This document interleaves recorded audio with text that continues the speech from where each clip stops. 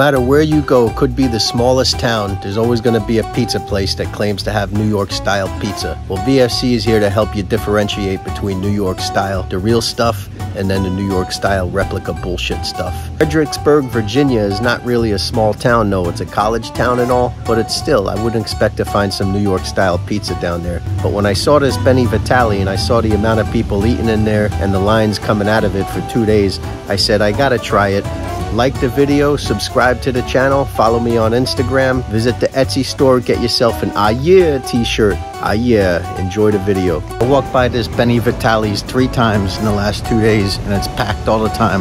So I'm gonna go in there and see how good this pizza is. They say New York City pizza. I'll be the judge of that. Ah Yeah, Benny Vitali's Pizza, Fredericksburg, Virginia. The first impression you get about a pizza place is the smell. How does that pizza smell when it comes out of the oven? As soon as I walked into Benny's, I knew this place was pretty legit, just from the smell. The next thing I noticed was the size of them pies in the oven. Those are supersized pies, which means we had some supersized slices to deal with coming up too.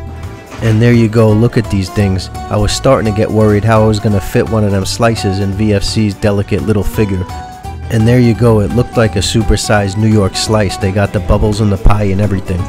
See how we're gonna do this. Oh yeah. I uh, leave it on the plate and just kind of scoot it. You can hear that lady next to me telling me how to eat the pizza. Like I'm gonna eat a pizza while it's still on the plate. Fold it in half and get that thing in your mouth, VFC.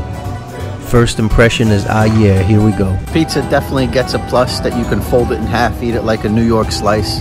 I'll give them this. They can call it New York style pizza. The sauce was really good though. Sauce was excellent actually. They could have put just a little bit more on there. The crust was actually really good too. They could have crisped it up just a little bit more on the bottom. All in all, I give it about an 8, 8.1. Ah yeah, it turns out Benny moved down here from Brooklyn about three decades ago. I wouldn't go to Fredericksburg just for the pizza, but if you're there, you gotta go to Benny Vitali's.